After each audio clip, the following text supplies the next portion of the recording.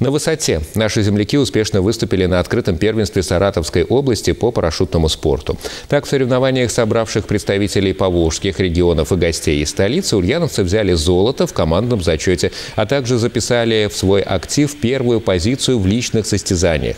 Стоит отметить, финальные прыжки спортсмены совершали в том самом месте, где 60 лет назад завершился полет Юрия Гагарина в космос. Этой дате саратовцы и посвятили соревнования. Вот только погода усложнила парашютистам задачу. Мало того, что практически на протяжении всех соревнований был штиль, еще была такая вещь, как под названием термики. Это когда воздух, ну, грубо говоря, взрывается от земли до неба, то есть